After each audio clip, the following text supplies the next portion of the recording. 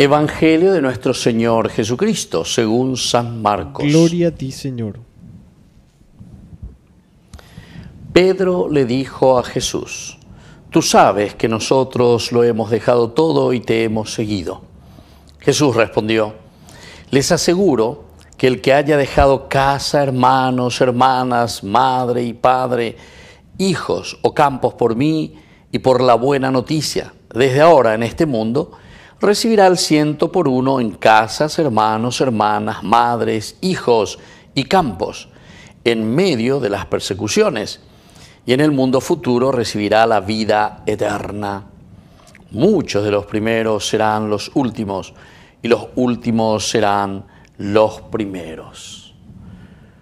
Palabra del Señor. Gloria a ti, Señor Jesús. Queridos amigos, queridos hermanos, estamos ya en este tiempo ordinario. La palabra del Señor que nos invita siempre al seguimiento. Hemos dejado el tiempo que nosotros le llamamos extraordinario, es decir, el tiempo fuerte de la liturgia que habíamos comenzado, sobre todo con la Semana Santa, con la resurrección, la Pascua del Señor, todo el tiempo de Pascua y de resurrección que hemos culminado ahora con la fuerza del Espíritu Santo. Peoúa lleva Peñandere Coeve, Peñande Atihuasupe, nuestra iglesia, nuestra familia, con de Yahuere Coina, Peipuacabea, Yarape Tumarangatu, que nos da fuerza para el seguimiento.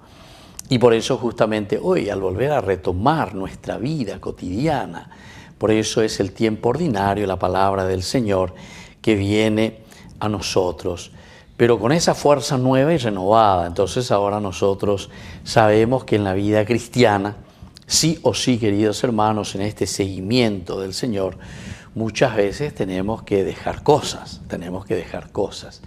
Váisela a dejar las cosas no es simplemente arrinconar, sino que es una actitud en nuestra vida. No estar apegados. Y sobre todo en este sentido, saber, entender que las cosas, lo que nos rodea, la naturaleza, el regalo de Dios,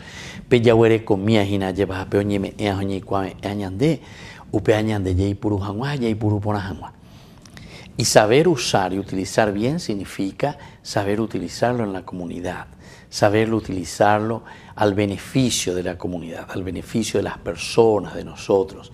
Diga tú y ñande apuitepe lleva en la imboriajúa, diga tú y ñande apuitepe en la itaúga, diga tú la ñande apuitepe entonces en la icotemia. No.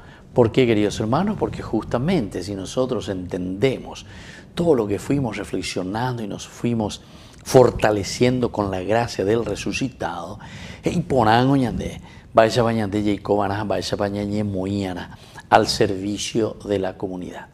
Peñan de Yarama me Eva Cueñan debe a cada uno una cualidad específica, una cualidad importante que nosotros tenemos que desarrollar, que nosotros tenemos que dar y que tenemos que donar. Y por eso, aquí justamente Pedro, en este seguimiento de Jesucristo, comienza a preguntar, ¿estos somos nosotros? Al final de cuentas, la comunidad.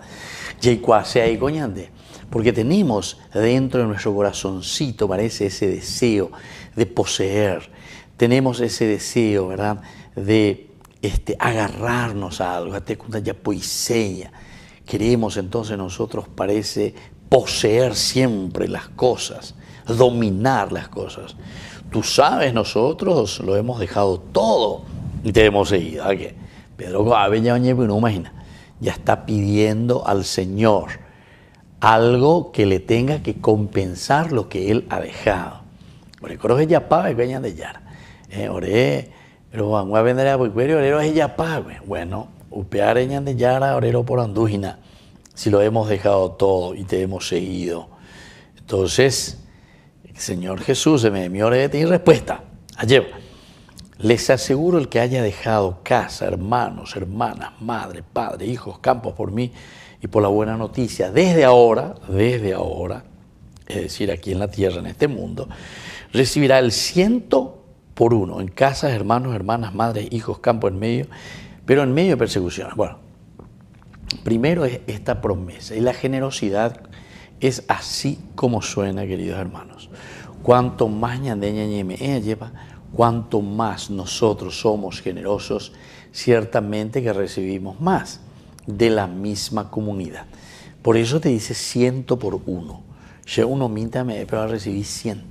Da ahí 100%. Porque pega la 100% con de me tenéis que recibir uno más. Entonces, de dongo la 100%.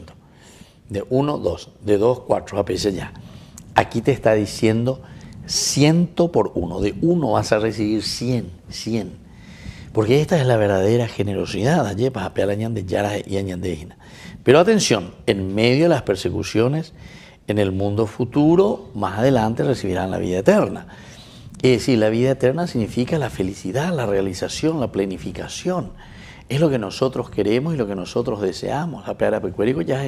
Esto significa que el hombre ñandeña a lo esencial a fundamento de nuestra propia esencia y de nuestra propia vida. ¿Qué estamos buscando? ¿Qué estamos deseando? ¿Detrás de qué nosotros estamos, queridos hermanos? Y por eso entonces hoy la palabra del Señor con este Evangelio magnífico del Evangelio de San Marcos nos está diciendo, tenemos que ser desprendidos, tenemos que dejar aquello que nos rodea simplemente porque queremos acumular más, no. De eso hay que desprenderse, es una actitud entonces. Y Dios ciertamente que en la misma comunidad nos vuelve a retribuir, es esa alegría, es esa fuerza ¿verdad? del Espíritu que nos hace sentir realizados, con la fuerza de Dios que nos hace entender cuál es nuestro verdadero camino en nuestra realización como cristianos. Que así sea. Que así sea.